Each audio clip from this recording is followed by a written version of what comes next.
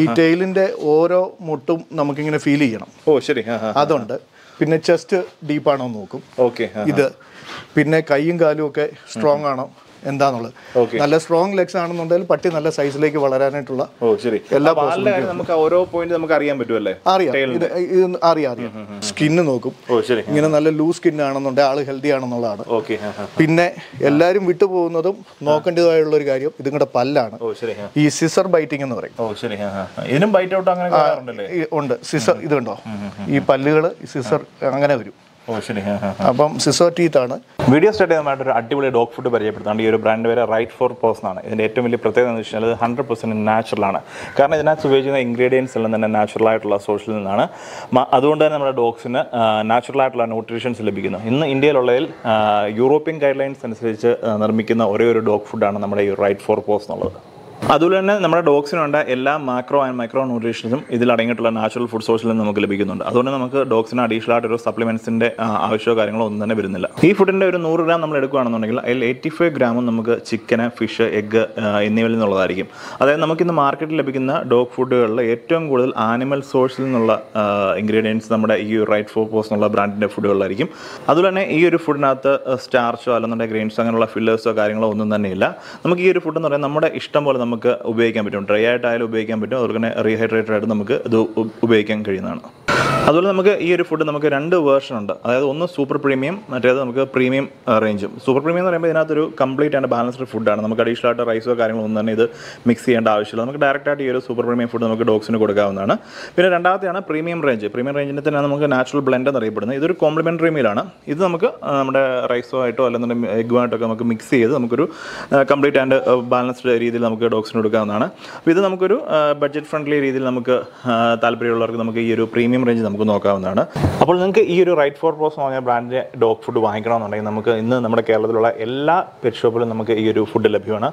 അല്ലാതെ നമ്മുടെ വീഡിയോയ്ക്കകത്ത് അവരുടെ നമ്പറും കാര്യങ്ങളും നല്ല വെബ്സൈറ്റ് കൊടുക്കുന്നുണ്ട്. അപ്പോൾ അതുമായിട്ട് കോൺടാക്ട് ചെയ്ത് കഴിഞ്ഞാൽ നിങ്ങൾക്ക് ഈ ഒരു പ്രൊഡക്റ്റ് വാങ്ങിക്കാവുന്നതാണ്. ജോജിയുടെ ഇപ്പോൾ എത്ര നാട് ഈ ഒരു കന്നി എന്ന് പറഞ്ഞ ഒരു ഡോഗ് ബ്രീഡിനെ വളർത്തുന്നുണ്ട്? ഞാനിപ്പോൾ ഏറെക്കുറെ ഒരു നാല് വർഷത്തോളമായി നാല് വർഷമായിട്ട് നമ്മൾ ഈ കാണുന്ന ഒരു തമിഴ്നാടിന്റെ ബ്രീഡല്ലേ ഇത്? അതെ. തമിഴ്നാടിന്റെ ബ്രീഡ് ആ. ഒത്തന്റിക് തമിഴ്നാട് ലൈനേജിലുള്ള ഡോഗ്സ് ആണ് എന്റെ ഉള്ളത് ഇരിക്കുന്നത്. നമുക്ക് എത്ര ഡോഗ്സ് ഉണ്ട് നിലവിൽ എനിക്കിപ്പോൾ നിലവിൽ അഡൽട്ട് ആയിട്ട് മൂന്നെണ്ണം. രണ്ട് മെയിലും ഒരു ഫീമെയിലും ഉണ്ട്. പിന്നെ ഈ ലിറ്ററിൽ മൊത്തം എട്ട് കുഞ്ഞുങ്ങളുണ്ടായിരുന്നു. ലിറ്ററിൽ അല്ലേ? അതെ. അതിൽ രണ്ട് കുഞ്ഞുങ്ങൾ പോയിട്ട് ബാക്കി സിക്സ് പപ്പീസ് ഉണ്ട്. ഇപ്പോൾ ഉണ്ടല്ലേ? ഉണ്ട്. ഓക്കെ ഇപ്പം എന്തുകൊണ്ട് ഈ ഒരു കന്നി ബ്രീഡ്? കാരണം തമിഴ്നാട്ടിൽ ധാരാളം നെറ്റീവ് ബ്രീഡ്സ് ഉണ്ട്. ഉണ്ട്. അപ്പോൾ അതിൽ ഈ ഒരു കന്നി എന്ന് പറഞ്ഞ ബ്രീഡിനെ ചേട്ടൻ വളർത്താനുള്ള ഒരു കാര്യം എന്താണ്? എനിക്ക് ഒന്ന് ഈ ബ്രീഡ് എന്ന് പറയുന്നത് വളരെ എന്താ പറയുന്നത് ഫാമിലി ആയിട്ട് വളരെ ഫ്രണ്ട്ലി ആയിട്ട് നിൽക്കുന്ന ഒരു ബ്രീഡാണ് ഓക്കെ പിന്നെ മറ്റ് ഹെൽത്ത് ഇഷ്യൂസ് ഒന്നും തന്നെ ഇല്ലാത്തൊരു ബ്രീഡ് നമ്മുടെ രാജപാളയം പോലെയുള്ള ഹെൽത്ത് ഇഷ്യൂസ് ഒട്ടും തന്നെ വരാത്തൊരു ബ്രീഡ് പിന്നെ മെയിന്റനൻസ് വളരെ കുറവാണ്. ഹൈലി ഇമ്മ്യൂൺ ആണ് വളരെ ഹെൽത്തിയാണ്. ഫുഡ് ഏറ്റവും കുറച്ച് മതി. മിനിമലായിട്ട് ഉള്ള കാര്യങ്ങളിൽ തീരും. ഈ നമ്മൾ ഈ പാക്ഡ് ഫുഡിലേക്കൊന്നും പോകേണ്ട കാര്യം തന്നെ വരുന്നില്ല. ഓക്കെ. പിന്നെ ഇതിന്റെ ബോഡി സ്ട്രക്ചർ അതൊക്കെയാണ് എന്നെ കൂടുതലും ഈ ബ്രീഡ്സിലേക്ക് അട്രാക്ട് ചെയ്തത്. ഓക്കെ. ശരിക്കും പറഞ്ഞാൽ ഈ ഒരു ബോഡി സ്ട്രക്ചറിന്റെ കാര്യം പറഞ്ഞുകൊണ്ട് ചോദിക്കുകയാണെന്നുണ്ട് നമുക്ക് പലപ്പോഴും ഫോട്ടോസ് കാണുമ്പോൾ തന്നെ പലരും എത്ര ഹെൽത്തി ആയിട്ട് ഒരു ഡോഗ് ഇരുന്ന് കഴിഞ്ഞാലും പലരും ചോദിക്കും നിങ്ങൾ ഇതിന് ഫുഡ് കൊടുക്കത്തില്ല അങ്ങനെ പലരും കമന്റ് ചെയ്ത് കണ്ടിട്ടുണ്ട്. അതിനെപ്പറ്റി എന്താ പറയാനുള്ളത്?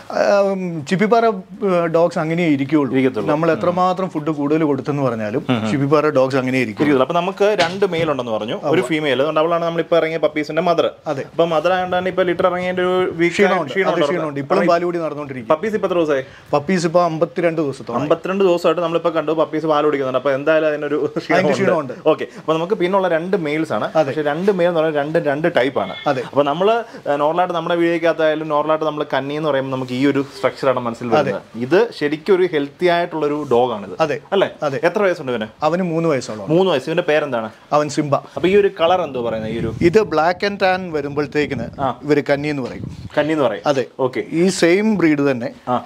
ഈ ഫോൺ കളറിൽ വരുമ്പോഴത്തേക്കിന്. ചിപ്പിപ്പാറ എന്ന് പറയാന്ന് പറയും. ഇത് തമിഴരുടെ ലോക്കലായിട്ട് അറിയപ്പെടുന്ന ആ ഒരു പേരാണ്. ഓക്കെ.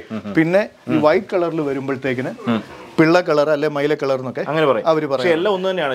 എല്ലാം സെയിം ബ്രീഡാ കളറിനകത്തുള്ള വ്യത്യാസം അത് മാത്രമേ ഉള്ളൂ. ഇപ്പൊ ചിപ്പിപ്പാറ പേരൻസ് ആണെങ്കിൽ പോലും അതിൽ കന്നി കുഞ്ഞുങ്ങളുണ്ടാകാം ഉണ്ടാകുന്നുണ്ട് കന്നി പേരൻസിൽ ചിപ്പിപ്പാറ കുഞ്ഞുങ്ങളും മറ്റു പല ഷെയ്ഡ്സിലുള്ള കുഞ്ഞുങ്ങളും വരാം. ഓക്കെ. അപ്പൊ നമുക്ക് ഇവൻ ഇപ്പൊ ഒരു മൂന്ന് വയസ്സായുണ്ട് ഇപ്പൊ ഇവന്റെ ഒരു ഫിസിക്കൽ പാരാമീറ്റേഴ്സ് നോക്കുകയാണെന്നുണ്ടെങ്കിൽ എന്ത് ഹൈറ്റ് വെയിറ്റ് ഒക്കെ എന്താ ഇവൻ ഒരു മുപ്പത് ഇഞ്ചോളം ഹൈറ്റ് ഉള്ള ഡോഗാണ് ഓ ശരി. പിന്നെ നല്ല ഡീപ് ചെസ്റ്റ് ആണ്.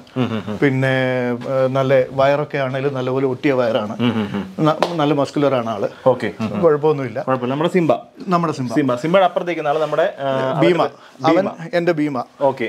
ഇവൻ ഒരു കുറച്ചുകൂടെ ഡിഫറെന്റ് ലൈനേജ് ആണ്. ഓക്കെ. കാരണം എന്താ കാണുമ്പോൾ രണ്ടും കന്നി എന്ന് പറഞ്ഞ ഇതാണല്ലോ രണ്ടും എന്റർലി സ്ട്രക്ചർ അതെ അതെ അതെ. ഇവന്റെ ഇത് സ്കൾ തന്നെ കുറച്ചുകൂടെ ബ്രോഡാണ് ഓക്കെ. പിന്നെ ബൈറ്റ് ഫോഴ്സ് ഇവന് കൂടുതലാണ് അവരെക്കാട്ടിലും ആൾ ഭയങ്കര മസ്കുലർ ആണ്, ഇത്രയും ഹെവി ആയിട്ടുള്ള ഒരു മസ്കുലർ മെയിലിനെ ഞാൻ കണ്ടിട്ടില്ല. കണ്ടിട്ടില്ല. ഒന്ന് സൈഡ് കാണിക്കാം. സൈഡ് പക്ഷേ കാണിച്ചു കാലൊക്കെ നിങ്ങൾ ബാക്ക് സൈഡിന്റെ ബാക്കിലെ കാലൊക്കെ നോക്കി എന്നാ സ്ട്രോങ് ആണ് നോക്കിയല്ലേ ഇത്രയും മസ്കുലർ ആയിട്ടുള്ള ഒരു മെയിൽ ചുപ്പിപ്പാറ ഞാൻ കണ്ടിട്ടുണ്ട്. നല്ല സാധാരണ കാണുമ്പോൾ നമ്മുടെ ഈ സിംബേനെ പോലുള്ള ഡോഗ്സ് ആണ് ചുപ്പിപ്പാറ എന്ന് പറയുമ്പോൾ എല്ലാവരുടെ മനസ്സിലും നമ്മൾ സെർച്ച് ചെയ്ത് കാണുന്നത്. അപ്പൊ ഇത് എന്താ? ഇവന്റെ ലൈനിലുള്ള വ്യത്യാസം എന്തെങ്കിലും ഇത് ഒരുപക്ഷെ ആയിരിക്കാം. ഇവനെ ആ ലിറ്ററിലെ ഒരു ആൽഫ ആയിരുന്നു ഇവന്. ഇവനെ കൊണ്ടുവന്നപ്പോൾ മുതൽ ഇവൻ ആൾ വളരെ ഹെവിയാണ്. ഇവരുടെ ഇവന്റെ കൂടെയുള്ള മറ്റു പപ്പീസിനെ വെച്ച് നോക്കി കഴിഞ്ഞ് കഴിയുമ്പോഴത്തേക്കും ഇവനായിരുന്നു ഏറ്റവും സ്ട്രോങ് ഓക്കെ. ഇവൻ ഇപ്പം ഒന്നര വയസ്സായത്. ഒന്നര ഭീമ. അതെ. ഇവന് ഇവന് ഇനി സ്ട്രക്ചറൽ ഡെവലപ്മെന്റ് വരുന്നതേ ഉള്ളൂ. ഇനിയുമാണ് ചെസ്റ്റ് ഒക്കെ ഒന്ന് താഴുകയും വയറൊട്ടുകയും. ബാക്കിയെല്ലാം കൂടി ഒന്ന് ആയി വരുന്നത് ഒരു ഒരു വയസ്സ് വരെ നല്ല റാപ്പിഡ് ആയിട്ടുള്ള ഗ്രോത്ത് കാണും. അതിനുശേഷം പിന്നെയാണ് സ്ട്രക്ചറൽ ഡെവലപ്മെന്റ്സ് വരുന്നത്. ഓക്കെ. നമുക്ക് ഈ മൂന്ന് അഡൽട്ടിനെ അതായത് നമ്മുടെ ഈ സിംബേനെ അതുപോലെ തന്നെ നമ്മുടെ ഇവനെ ഭീമേനെ നമ്മുടെ ഫീമെയിലിന്റെ പേര് ചേട്ടാ? സോയ. സോയ. അപ്പൊ ഇവർ മൂന്നിനെ നമ്മൾ എവിടുന്ന് വേണം ഒരേ കനലിൽ നിന്ന് എടുത്താണോ? അല്ലല്ല. ഞാൻ അത് വളരെ സൂക്ഷിച്ച് നോക്കി എടുക്കാറുള്ളൂ. ഭീമയെ ഞാൻ എടുത്തത് ചെന്നൈയിൽ നിന്നാണ്. ചെന്നൈയിൽ ഒരു ഗായത്രി എന്ന് പറയുന്ന ഒരു ലേഡിയുടെ നിന്നാണ് എടുത്തത്. ഇവനെ എടുത്തല്ലേ ഇവനെ എടുത്തത്. ഓക്കെ. പിന്നെ എന്റെ ഫീമെയിൽ സോയ അവളെ ഞാൻ എടുത്തത് മുളന്തുരുത്തി നിന്നാണ് എടുത്തത്. അവളുടെ മദർ മുളന്തുരുത്തിയിൽ ഒരു വിജികുമാർ എന്ന് പറഞ്ഞ ആളുടെ ഇല്ലായിരുന്നു.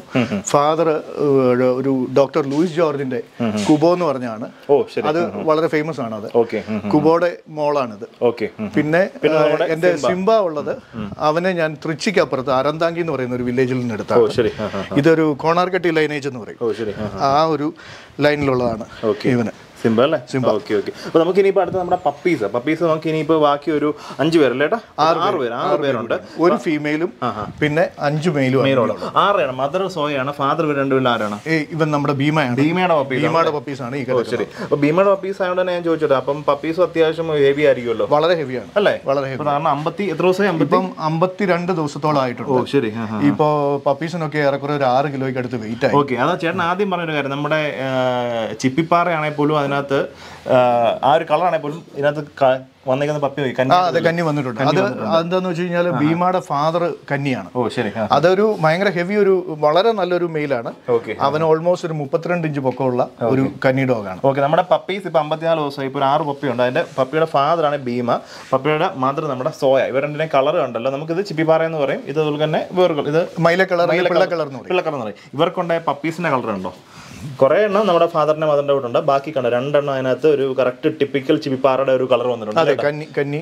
സോറി കണ്ണിയുടെ കളർ വന്നിട്ടുണ്ട്. ബ്ലാക്ക് കന്നി വരും. ഇത് രണ്ടും ആഷ് ഒരു ലൈറ്റ് ആഷ് കളർ വരും. ഓ ശരി.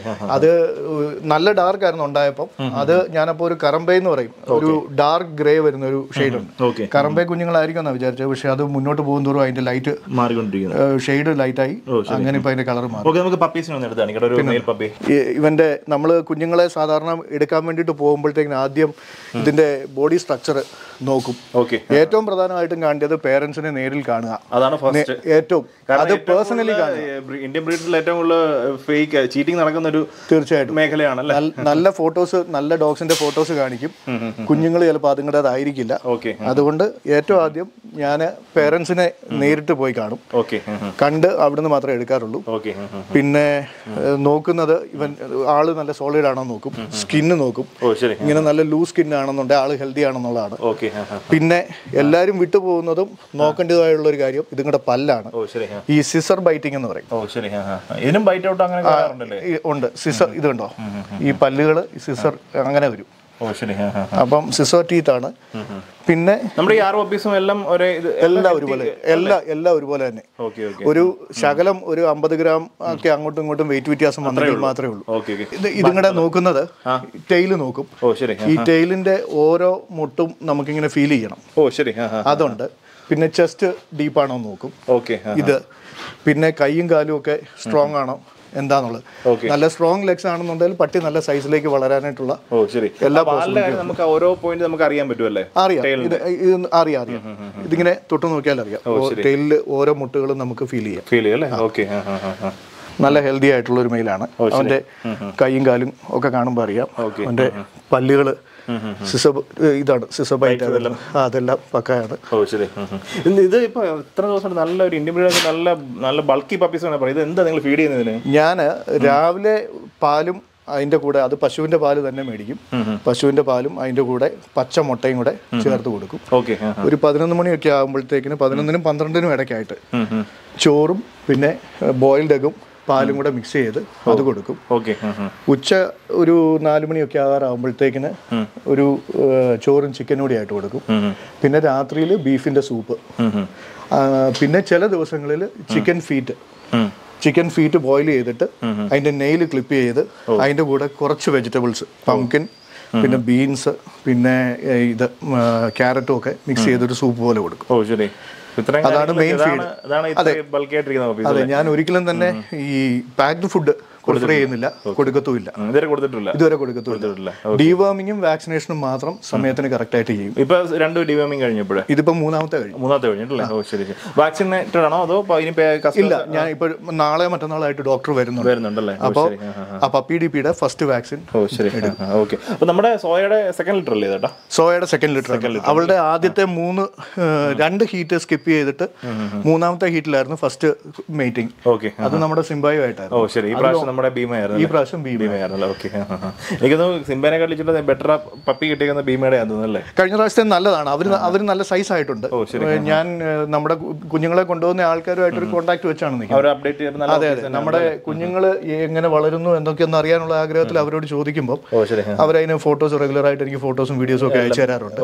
കഴിഞ്ഞ പ്രാവശ്യം കുഞ്ഞുങ്ങളെ മേടിച്ചവർ തന്നെ ഈ പ്രാവശ്യം രണ്ടെണ്ണത്തിനും കൂടെ വേറെ വേണമെന്ന് പറഞ്ഞു. ചേട്ടാ ശരിക്കും അപ്പൊ നിങ്ങൾ കഴിഞ്ഞ പ്രാവശ്യം കൊണ്ടുപോയ ആൾക്കാരെ അല്ലെന്നുണ്ടെങ്കിൽ ഈ കണ്ണി പപ്പീസ് ഒക്കെ അല്ല, കണ്ണി ഡോഗ്സ് ആർക്കാണ് ശരിക്കും ഉപകാരപ്പെടുന്നത്? കൂടുതലും ഈ ഫാംസും എസ്റ്റേറ്റും ഉള്ളവരാണ് ഏറ്റവും കൂടുതലും പ്രയോജനം ചെയ്യുന്നത്. കാരണം ഇത് വളരെ ഹൈപ്പർ ആയിട്ടുള്ള വളരെ ആക്റ്റീവ് ആയിട്ടുള്ള ഡോഗ്സ് ആണ്. അപ്പം നമുക്കൊരു കൂട്ടിലിട്ട് വളർത്താൻ വേണ്ടിയിട്ടായിട്ട് ഇതിനെ കൊണ്ടുപോകാനായിട്ട് അത് ശരിയാകത്തില്ല. രാജപാളയോ ഇല്ലെ കോമ്പയോ പോലെ ഒരു ചെറിയ കോമ്പൗണ്ടിനകത്ത് വളർത്താൻ പറ്റുന്ന ഒരു ബ്രീഡ് അല്ല. ഓക്കെ ഇത് അത്യാവശ്യം നല്ല എക്സസൈസും നല്ലപോലെ ഓടി നടക്കുകയും ഒക്കെ വേണ്ടിയ ഒരു ബ്രീഡാണ് ഇവർക്ക് ഇവിടെ ചുമ്മാ ജസ്റ്റ് ചേട്ടൻ തണുപ്പിനകത്ത് രക്ഷണ ചെറിയൊരു കൂടെ ബാക്കിയുള്ള സമയം ഓപ്പൺ ആയിട്ട് തന്നെയാണ് ഞാൻ നിവൃത്തിയുള്ളിടത്തോളം സമയം ഇവരെ ഫ്രീ ആയിട്ട് അഴിച്ചു വിടും. എന്റെ എന്റെ കോമ്പൗണ്ട് ഫുള്ള് ഫെൻസ്ഡ് ആണ്. ഓക്കെ. അപ്പോൾ പുറത്ത് എനിക്ക് ചുറ്റിനും മറ്റേ തേയിലത്തോട്ടം ആയതുകൊണ്ട് അതിന്റെ ഉള്ളിലേക്കുള്ള മുയലുകൾ പിന്നെ മറ്റു മൃഗങ്ങളൊക്കെ വരും. അപ്പൊ അതുങ്ങളെ കാണുമ്പം ഇവർക്ക് ഈ ആ ഒരു പ്രേ ഡ്രൈവ് വളരെ കൂടുതൽ. ആനിമൽ അഗ്രഷൻ ആണ്. ആനിമൽ അഗ്രഷൻ ആണ് കൂടുതലുള്ളത്. ഹ്യൂമൻ അഗ്രഷൻ താരതമ്യേന വളരെ കുറവാണ്. പിന്നെ ചില ആൾക്കാരെ കണ്ടാൽ അത് എത്ര നാൾ കഴിഞ്ഞെന്ന് പറഞ്ഞാലും അവർക്ക് ഇഷ്ടപ്പെട്ടില്ലെങ്കിൽ അത് അടുപ്പിക്കുകയല്ല കുറച്ചുകൊണ്ടിരിക്കും. ഞാൻ കൂടെ ഉണ്ടെങ്കിൽ മിക്കപ്പോഴും പ്രശ്നമില്ല. ഓക്കെ. ചേട്ടാ അതുപോലെ നമുക്ക് ഒരു ഫസ്റ്റ് ടൈം ഡോഗ് ഓണറിന് പറ്റിയ ഡോഗാണ് ആദ്യമായിട്ട് ഡോഗിനെ വാങ്ങിക്കുന്നവർക്ക് പറ്റിയാണ് ഈ കന്നി വളരെ നല്ല. കാരണം എന്റെ വീട്ടിൽ എന്റെ ഇപ്പം ഇവളെ ഞാൻ ആദ്യം കൊണ്ടുവരുമ്പോൾ എന്റെ കുഞ്ഞുങ്ങളൊക്കെ ചെറുതാ. കൊച്ചുങ്ങൾക്ക് പോലും വളരെ നല്ല രീതിയിൽ ഹാൻഡിൽ ചെയ്യാൻ പറ്റുന്ന ഒരു ഫീമെയിൽ ആയതുകൊണ്ട് തന്നെ ഫാമിലിയുമായിട്ട് വളരെ ക്ലോസ് ആണ് അങ്ങനെയുള്ള ഒരു വലിയൊരു ഗുണം ഈ ഫീമെയിൽ ഡോഗ്സിനുണ്ട് ഈ കുഞ്ഞുങ്ങളെയൊക്കെ ഈ വളരെ നല്ല രീതിയിൽ. ആ അതെ. എപ്പോഴും അവരുടെ കൂടെ തന്നെ നടക്കും. അഴിച്ചു വിട്ട് കഴിഞ്ഞാൽ അവരുടെ കൂടെ നിന്നോളും. അങ്ങനെയുള്ള ഒത്തിരി കാര്യങ്ങൾ ഈ ഫീമെയിലിനുണ്ട്. ഓക്കെ. അപ്പൊ ചുരുക്കി പറഞ്ഞ കന്നി എന്ന് പറയുമ്പോൾ നമുക്ക് ഏറ്റവും സിമ്പിൾ ആയിട്ട് അല്ലേ? വളരെ, അതെ, മെയിന്റെയിൻസ് ഇല്ലാണ്ട് നല്ലൊരു ഗാർഡ് ഡോഗ് ആയിട്ട് വളർത്താൻ അതെ തീർച്ചയായിട്ടും. ഒരു സംശയവും വേണ്ട. പിന്നെ ഓവറായിട്ട് ഫുഡ് വേണ്ട. ഒന്നും വേണ്ട. ഫുഡ് അസുഖങ്ങൾ വരത്തില്ല. അസുഖങ്ങൾ വരത്തില്ല.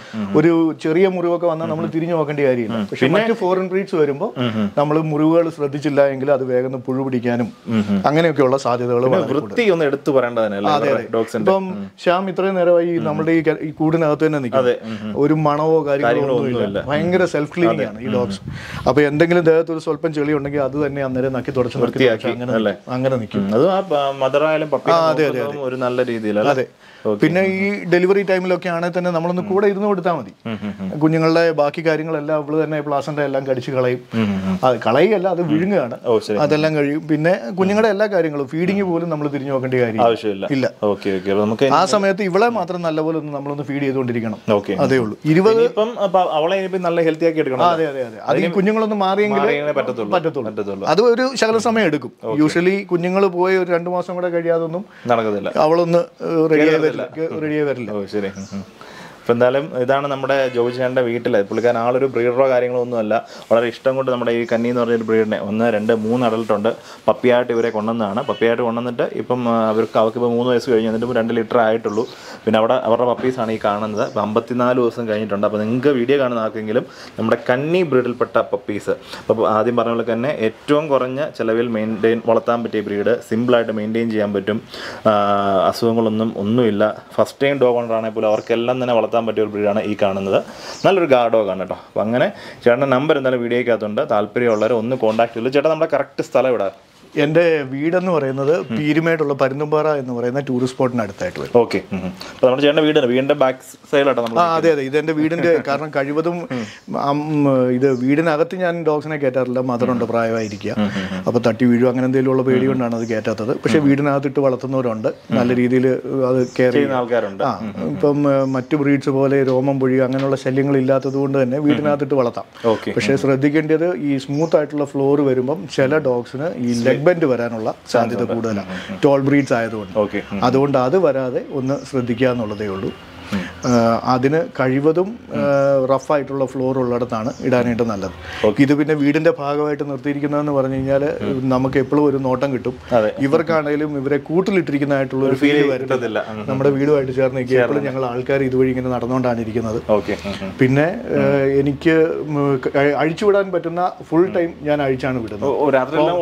ഫുൾ ടൈം ഞാൻ ഗേറ്റ് അടച്ചു കഴിച്ച് ഇതിനകത്ത് അഴിച്ചുവിടും നിവൃത്തിയുള്ളിടത്തോളം സമയം ഇതുങ്ങൾ ഫ്രീ ആയിട്ട് തന്നെ ഓടി നടക്കും. ഓക്കെ.